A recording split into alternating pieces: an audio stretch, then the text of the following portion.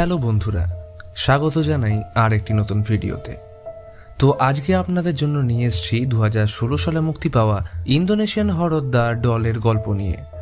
আপনারা ভালোভাবেই জানেন প্রেতাত্মা ও পুতুলের মধ্যে সম্পর্ক বহু প্রাচীন, যা সময়ের সাথে দর্শকদের মনে ভীতি সঞ্চার করে এসছে। তেমনই একটি গল্প নিয়ে আজকের এই ভিডিও। কিন্তু ভিডিও শুরু করার আগে আপনাদের থেকে মাত্র তিরিশ সেকেন্ডের সময় চেয়ে নেব আমাদের স্পন্সর ওয়ান এক্স বেটের জন্য। এই নির্ভরযোগ্য অ্যাপটি ব্যবহার করে ক্রিকেট, ফুটবল, ভলিবল সহ বিভিন্ন গেমসের লাইভ স্কোর দেখতে পারবেন। অনলাইনে খেলতে পারবেন বিভিন্ন গেমস। ডেসক্রিপশনে দেওয়া লিঙ্ক থেকে ডাউনলোড করে আমার promo code H T G R use করলে প্রথম বেটে পেয়ে যাবেন তেরোশো টাকা অবধি বোনাস, যা পেটিএম সহ বিভিন্ন সহজ উপায়ে উইথড্র করতে পারবেন। তো খেলতে থাকো আর ডাউনলোড করো ডেসক্রিপশন বা পিন কমেন্টে দেওয়া লিঙ্ক থেকে।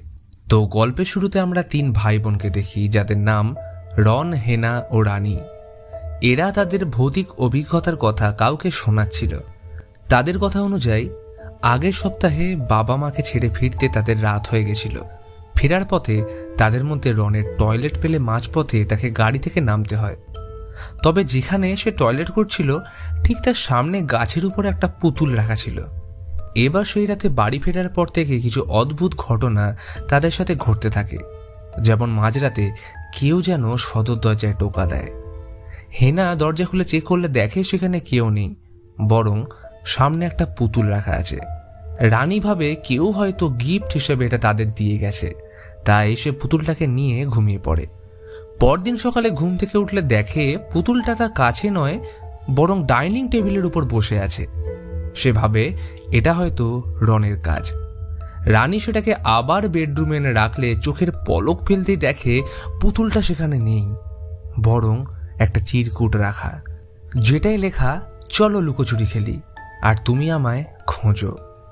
সে এটা হেনাকে দেখালে তখন একটা আওয়াজ শুনতে পায়। এবং তারা সঙ্গে সঙ্গে বাথরুমে গেলে দেখে, পুতুলটা ওখানেই রাখা এবং তার পিছনে লেখা আছে, তুমি আমায় খুঁজে পেয়েছ। এবার এই ঘটনার কারণে রেগে তারা রনকে ডাকলে, সে বলে, আরে, এই পুতুলটা? এটাকে তো আমি গাছের উপর দেখেছিলাম। এটা বাড়িতে কি করে এলো?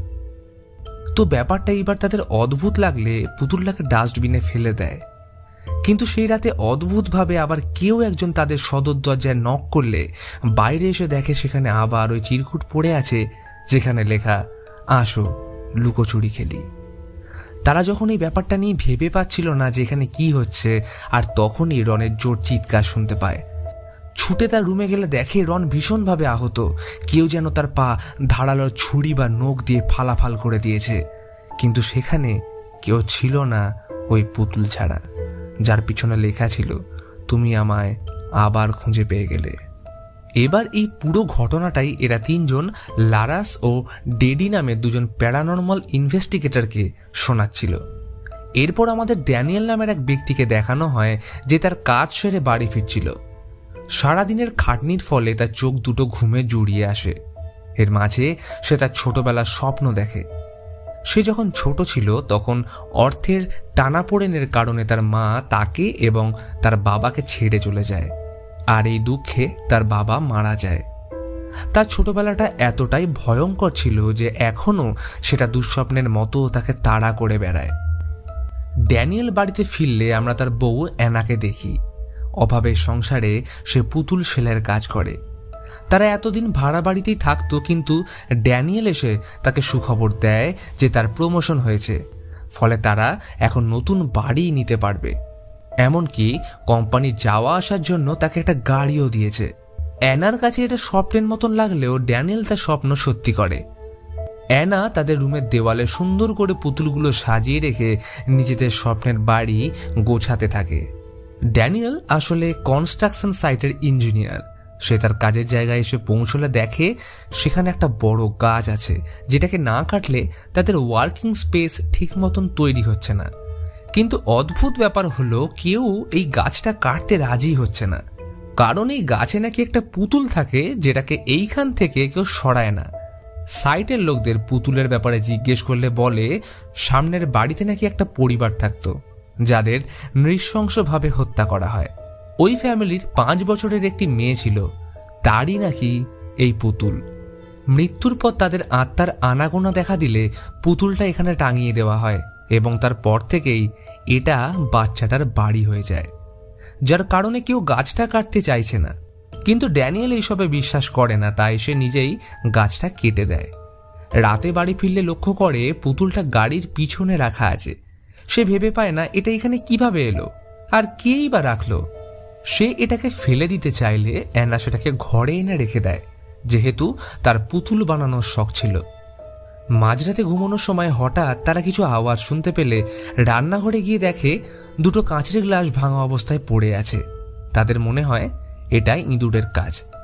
পরের দিন অ্যানা তাদের প্রতিবেশী নিকেন ও তার মেয়ে কিলার সাথে দেখা করে আগের দিন রাতের ঘটে যাওয়া সমস্ত ঘটনার ব্যাপারে জানিয়ে দেয়।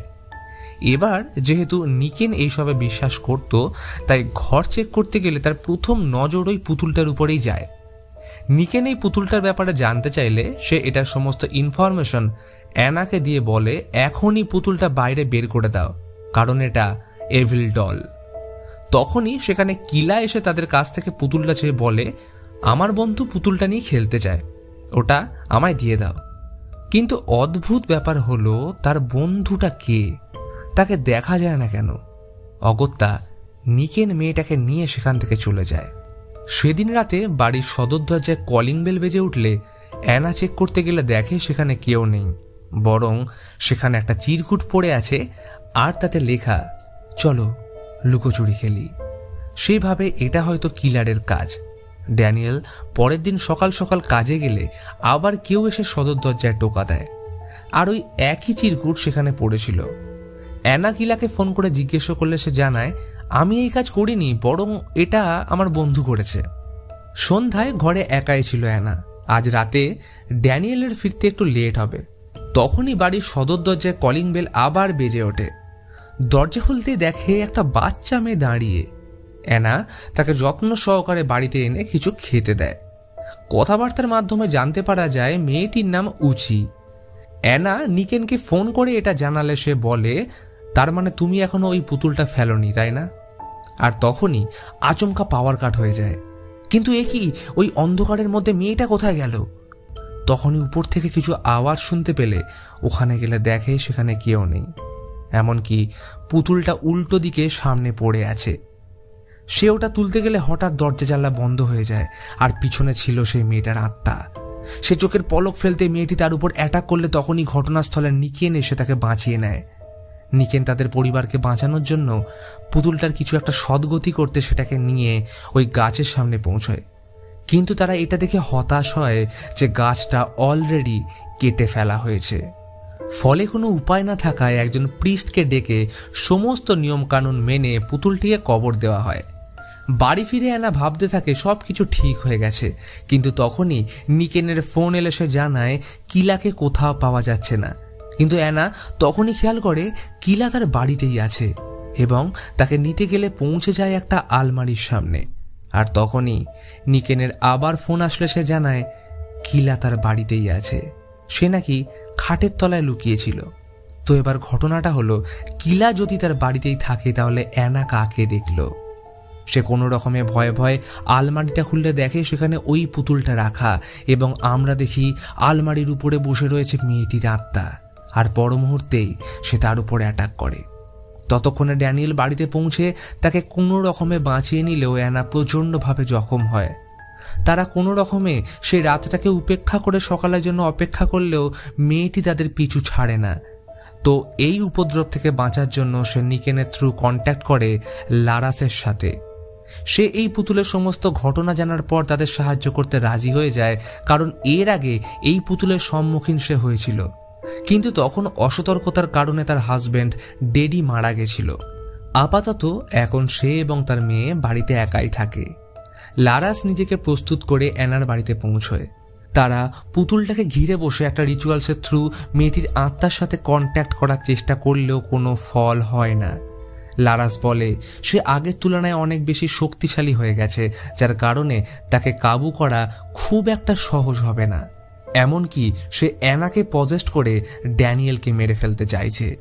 লারাস তাদের পরিবারকে বাচ্চাটি থেকে বাঁচানোর জন্য একটা রিচুয়ালস করে, কিন্তু তাতেও কোনো ফল হয় না, কারণ বাচ্চাটির আত্মা নিকেনকে পজেস্ট করে তাকে মেরে ফেলে।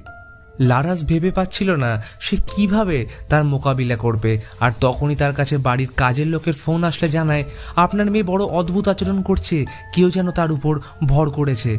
এই খবর শুনে দ্রুত বাড়ি পৌঁছলে দেখে তার মেয়ের কিচ্ছু হয়নি, সে একদম ঠিক আছে। তখনই তার মাথায় একটা খেয়াল আসে যে এর পুরোটাই একটা ছলনা। অন্যদিকে অ্যানার বাড়িতে প্রচুর বাদুর ঢুকে পড়লে সে কোনো রকমের রুমে ঢুকে দরজা লাগিয়ে দেয় আর বাইরে আটকে গেছিল ড্যানিয়েল। আর তখনই অ্যানার উপর অ্যাটাক করে বাচ্চা মেয়েটি ক্ষণিকের মধ্যে তাকে পজেস্ট করে নেয়। ড্যানিয়েল তাকে বাঁচাতে ঘরে ঢুকলে এক ঝটকায় অ্যানা তার গালের মাংস ছিঁড়ে তুলে নেয়। আর তাকে অল্প অল্প করে আহত করে মারতে থাকে। কিন্তু কেন সে তাকেই মারতে চাইছে? এর সাথে ড্যানিয়েলের কি সম্পর্ক? সে তো একদমই সাদামাটা একজন মানুষ। আর তখনই লারাস ঘটনাস্থলে এসে অ্যানার মাথায় হাত রেখে তাকে শান্ত করে। সে তার মধ্যে থেকে আত্মাটাকে বার করতে সক্ষম হলেও ততক্ষণে অ্যানা আসল সত্যটা জেনে গেছিল। এবার এইখানে রিভিল হয় মুভির আসল রহস্য। আসলে ড্যানিয়েল কখনোই চাইতো না অর্থের অভাবে তার বউ তাকে ছেড়ে চলে যাক, যেমনটা তার মা তাদের ছেড়ে চলে গেছিল। এই জন্য ড্যানিয়েল তার খুব ঘনিষ্ঠ এক বন্ধুর সাথে একজনের বাড়ি ডাকাতি করে। তাদের পরিবারে ছিল তিনজন সদস্য, বাবা, মা ও তাদের একটি মেয়ে। মেয়েটির কোলে থাকা পুতুলটিকে লক্ষ্য করলে আমরা ভালোভাবেই বুঝতে পারি এটা কে হতে পারে। তারা খুব সন্তর্পণে বাড়িতে সবাইকে কন্ট্রোলে রেখে সমস্ত টাকা পয়সা চুরি করে। তাদের প্ল্যান ছিল চুরি করে এখান থেকে পালিয়ে যাওয়া। কিন্তু ধরা পড়ার ভয়ে ড্যানিয়েলের বন্ধু পুরো পরিবারকে গুলি করে মেরে ফেলে। এবং এর মাঝে ধস্তাধস্তির কারণে তার নিজেরও মৃত্যু হয়। আর এই সুযোগ নিয়ে ড্যানিয়েল সমস্ত টাকা পয়সা নিয়ে ঘটনাস্থল থেকে পালিয়ে যায়। তাহলে পরিষ্কার বোঝাই যাচ্ছে, তার কাছে হঠাৎ টাকা পয়সা গাড়ি বাড়ি এইসব আসার কারণ তার প্রমোশন নয়, বরং এই ডাকাতি ছিল। এবং এই কারণে মেয়েটির আত্মা তার পিছনে পড়েছিল তাকে মারার জন্য। লারাস বলে, যদি ড্যানিয়েল তার সমস্ত দোষ পুলিশের কাছে জানিয়ে সারেন্ডার হয়ে যায়, তাহলে হয়তো মৃত্যুর হাত থেকে বেঁচে যাবে। কিন্তু সেটা হয় না, কারণ বাচ্চা মেয়েটির আত্মা ড্যানিয়েলকে পজেস্ট করে উপর থেকে ঝাঁপ মারতে বাধ্য করে, ফলে এর কারণে তার মৃত্যু হয়। বাচ্চাটা শুধু এটা করে শান্ত থাকে না, এরপর সে পুরো ঘর অধিকার করে নেয় এবং তার স্থান হয় অ্যানার রুমের পুতুলের সেই র্যাকটা। এরপরে অ্যানা চিরজীবনের মতন এই বাড়ি ছেড়ে চলে যায়। সে বাকি জীবনটা লারাসের বাড়িতেই কাটিয়ে দেয় এবং এর সাথে মুভি এখানেই শেষ হয়। তো বন্ধুরা, কেমন লাগল আজকের এই ভিডিও ভিডিওটা কমেন্ট বক্সে জানিও। এই ভিডিওর কোন জায়গাটা তোমাদের সব থেকে বেশি ইন্টারেস্টিং লেগেছে সেটা অবশ্যই জানিও। তো আজকের মতন এখানেই। দেখা হচ্ছে পরের ভিডিওতে ভালো থাকবেন।